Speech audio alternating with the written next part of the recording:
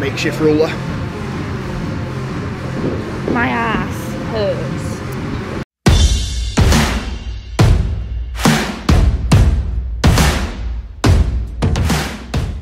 Programmed into bent over rows. We're going to swap them. We're going to put in the, the T-bar row machine. Oh, we're back. We're filming. Let me just intro this. Back in the gym.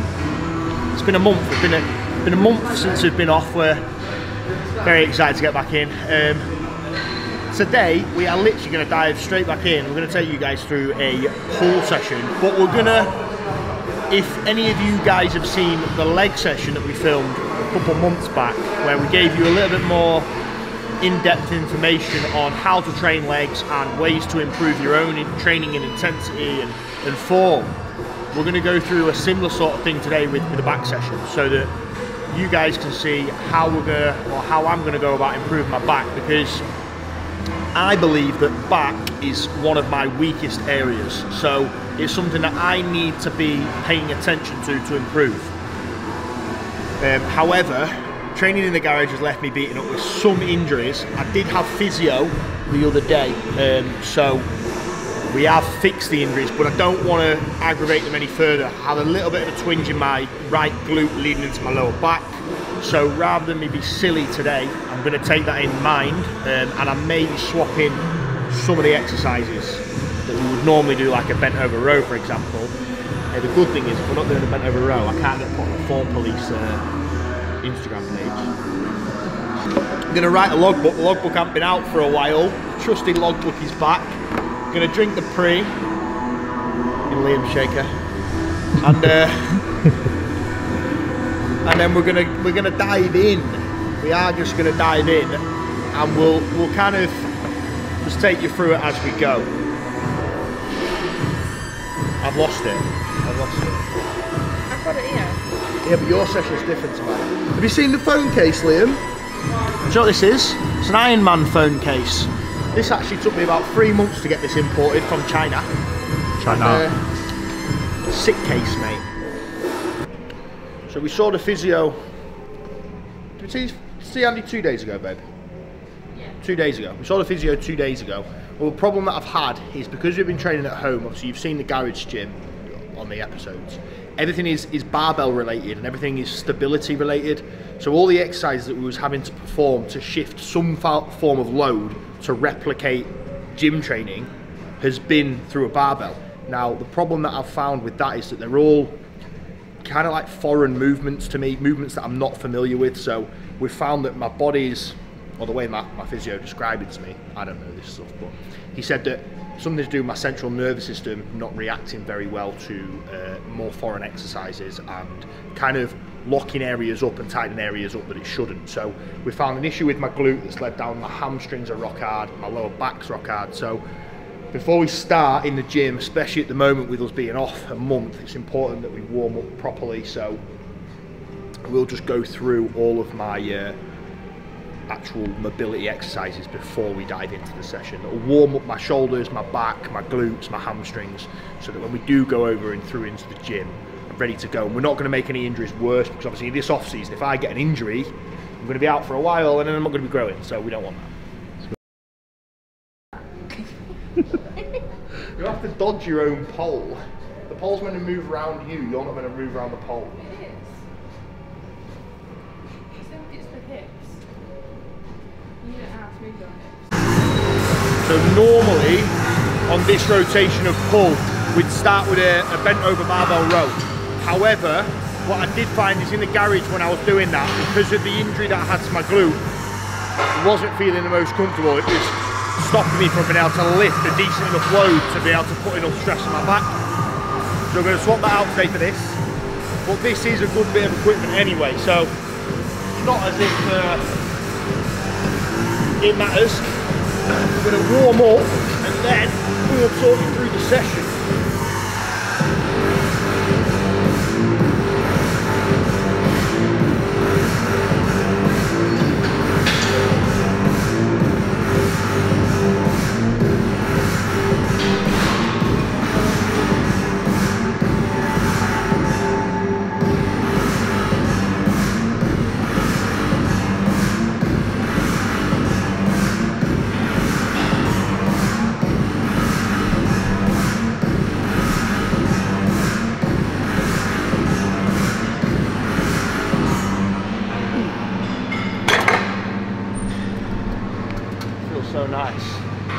So nice to squeeze the back properly again. Third one.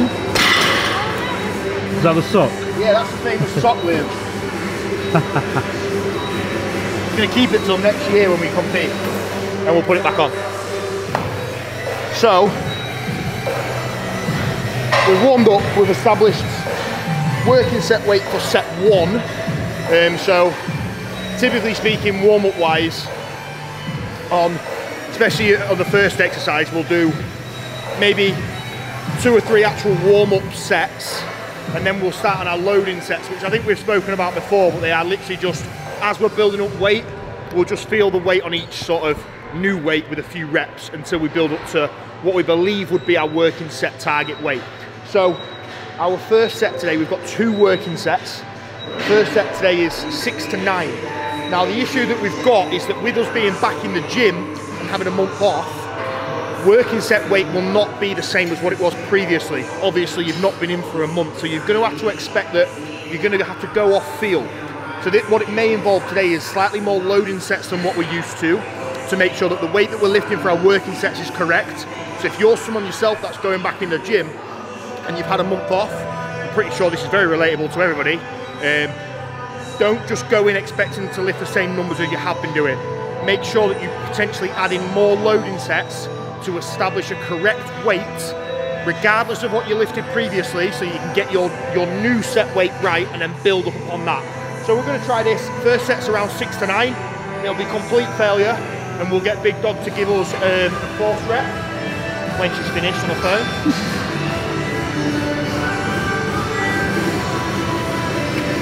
and we'll go from there. What am I doing? Uh, spotting me?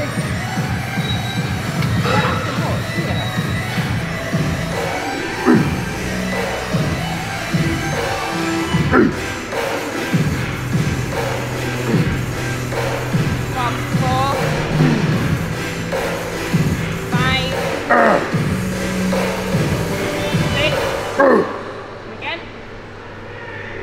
On the next one.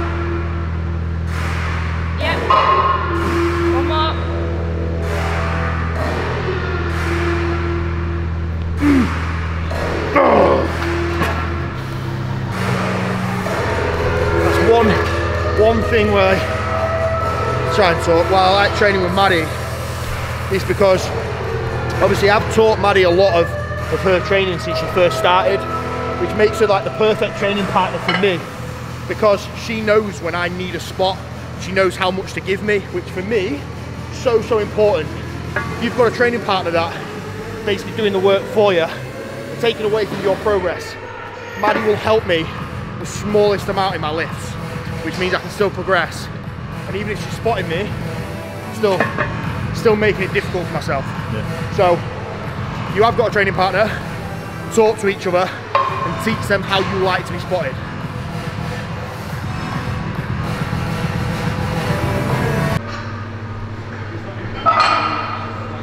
So everything today is two sets. So we have a top set and a back off set. So the top set generally is a little bit heavier, a little bit less reps. Um, so on like a heavy compound like the row we just did was six to nine. On this we're doing 10 to 12. And then the next set, the second set would be our higher rep set where we're burning out, we're squeezing a lot more. That allows us to get hit different rep ranges. And also, obviously, although we're only counting two of the working sets and they're the only two that we record, we will obviously do the amount of loading sets we need to. So the actual volume is a decent amount, but it just means that we're prioritizing the two sets. And a lot of people will ask me, you know, if in the, in the programs that I give, if I do give them two sets, is why do I only do two sets? Surely that's not enough stress to build muscle. I'll tell you straight, and, and Maddie can definitely agree with this because she used to train different to this as well. If you do two sets on an exercise to complete failure, you shouldn't need to do any more. Like that should be enough over the course of the exercises to absolutely smash you. If you feel as if you need more volume, you're not applying enough intensity to your working sets. So sometimes I could do one set and that would be enough for it to be to provide a stimulus to grow. I don't need three sets of 10 to 12 like everyone believes.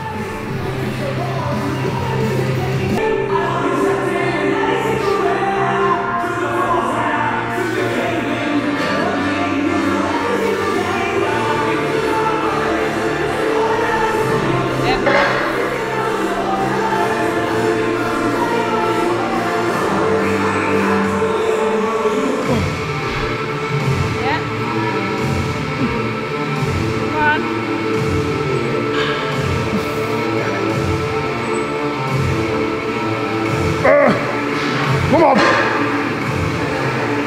Oh, oh. Hard over there. It's hard. good. Tell you what's good about being back in the gym. The bloody steps that I get in. Just walking around finding plates. What I was going to do, talk to about a little bit about exercise selection and how I believe that it should be based upon individuals. And it's something that having Kuba as a coach is good because I can feed back to him what exercises feel good and don't feel good. As individuals, we're all going to find different exercises more beneficial and we're going to feel them a lot more than others. You know, what I find feels good on my back, Liam might find feels doesn't feel good or he might like something else. And what's important is with a muscle group like a back, it is a difficult area to train. You have to get used to and practice squeezing that area and learning how to contract it properly in order to create enough stress upon it to create a new stimulus to grow.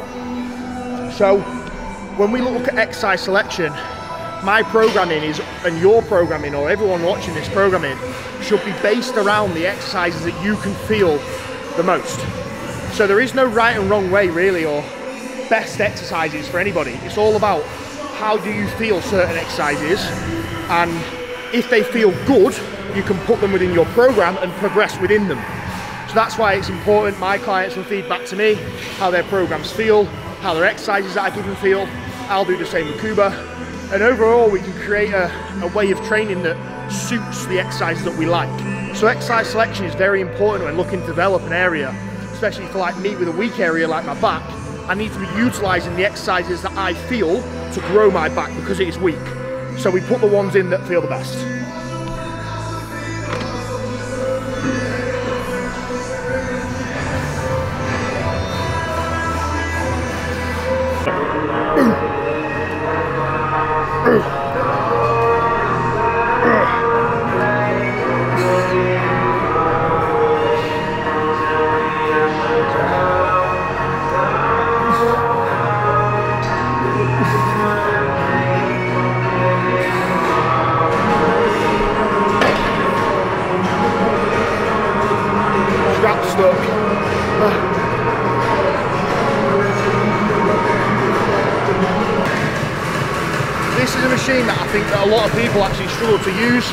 Because it's, it's actually really simple. I think a lot of people overcomplicate it. You literally only need to focus on this machine in driving your elbow towards your hip. So as you're sat down, the only movement that I think about during this is just driving this down.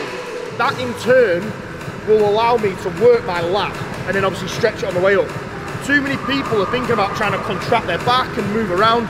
Keep yourself in a fixed position, drive your elbow down and your lat will do the work for you. Don't allow your upper body to twist all over the place to try and get a big, bigger squeeze. You're only trying to focus and isolate the lat. The reason we use straps is because otherwise my grip will go and I won't be able to lift anything. I don't really care about a good grip, I care about a big back.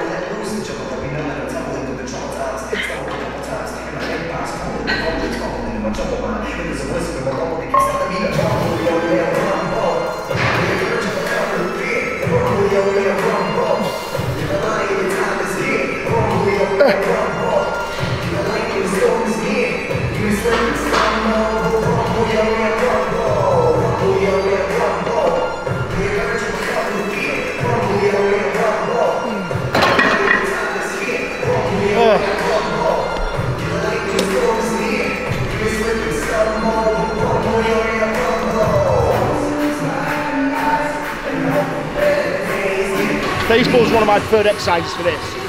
Now a lot of people do them on a normal cable standing up.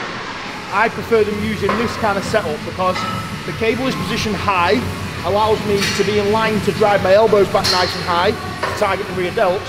It also allows me to place my feet on the pad and stay very stable so that I'm not applying any kind of swing backwards and forwards.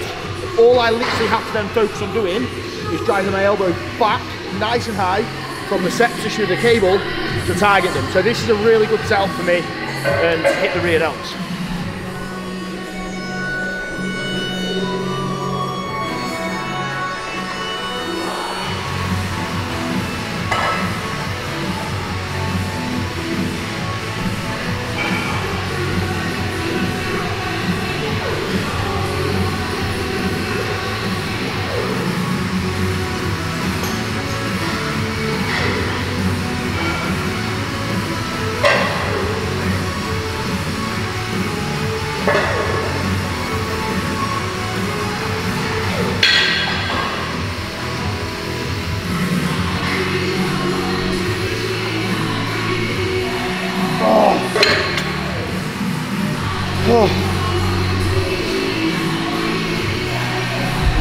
Liam's up. Not even training glutes today.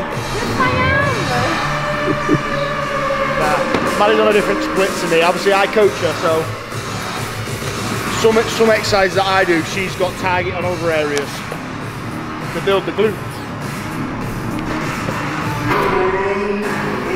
Back done and rear's done. Now moving on to biceps. Now actually, arms is something I, I need to bring up as well. Um, so I do hit it multiple times a week. I have a little bit of biceps on the end of a pull day, and then we also do a delts and arms day specific as well, so we can hit it a little bit more frequently to build the arms up. Because let's be honest, like who doesn't want good arms, right? um, so just utilising the equipment that we have whilst we're in a gym like this. This machine is very, very good for isolating the bicep, and it hurts a lot. Bloody hurt.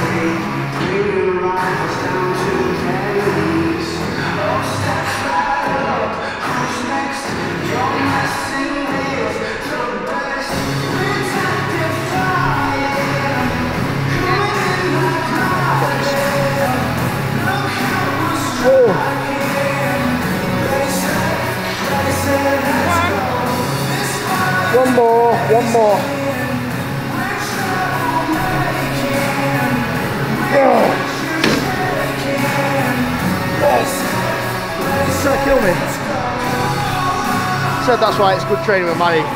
It's also a partially, I think she's a good spotter because she likes to inflict pain upon me. Must be a relationship thing, but she likes to see me in pain. So I guess it's her way of getting their own back for me not doing the dishes or something.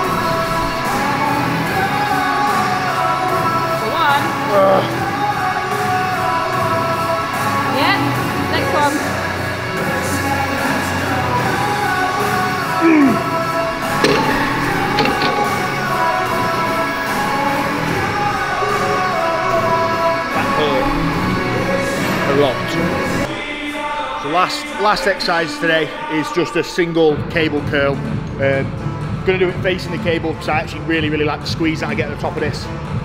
But one thing that you'll notice, and it'll be the same for every training session that you see me do, no matter what muscle group it is, no matter what exercise it is, no matter what rep ranges I'm aiming for, every working set that I do will be taken to complete failure. Because when you're trying to grow new muscle, you need to create a stimulus, you need to create a new stress.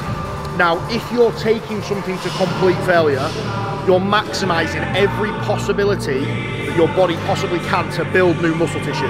So, if you are going to failure, you're leaving nothing in reserve, you're making the most of all of your sets, you're putting your body in the position or the best position possible to build the most amount of muscle possible from training.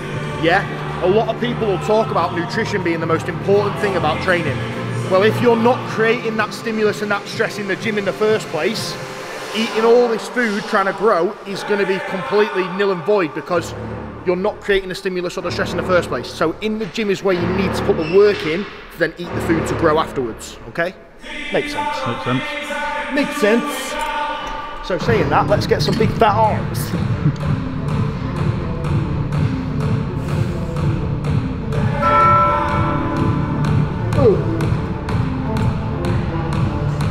Oh. Oh. Ah.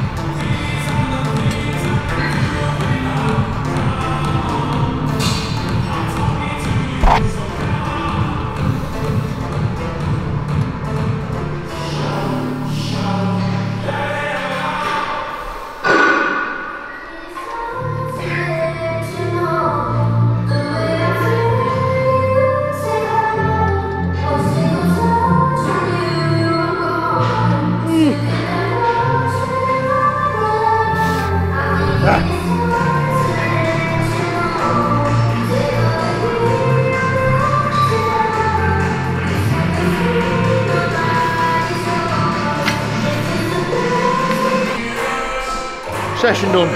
Done.